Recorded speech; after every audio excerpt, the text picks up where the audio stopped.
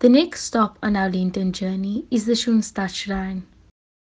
Did you know that there are over 200 Schoenstatt shrines around the world? During the COVID 19 pandemic, many have received a new feature, a webcam, allowing people from all over the world to pay a visit. Every place of pilgrimage has special graces, so too does the Schoenstatt Shrine. The graces one can receive are the grace of a home, of transformation and emission. Let us take a look at these in view of our Lenten journey. Home. Our final destination is in the heart of God. The grace of a home offered in the Schoenstatt Shrine helps us to experience the presence of God. It is a place of peace and rest, a home where we can simply be ourselves before God. Transformation. Sometimes we approach Lent with a list of what we want to do to change ourselves.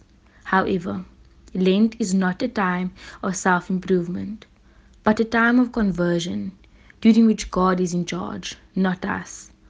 Father Kentenich said we need to do just 1%, and God and Our Lady will do the other 99. The grace of transformation can give us strength and guide us on our journey of conversion. Mission a further quote from Father Kentenich My main vocation is love. Jesus showed us his love by sacrificing everything. How can I show my love in return? The fingerprint in my Lenten passport reminds me that I am unique. So too is how I love. We ask Our Lady to intercede for us that we may discover our unique path of love. Lord Jesus, on the cross you entrusted us to the loving care of your mother. She walked with you the, the journey to salvation and has taken us into her beloved heart.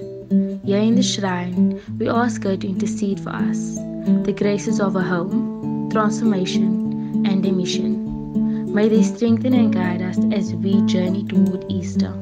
Amen.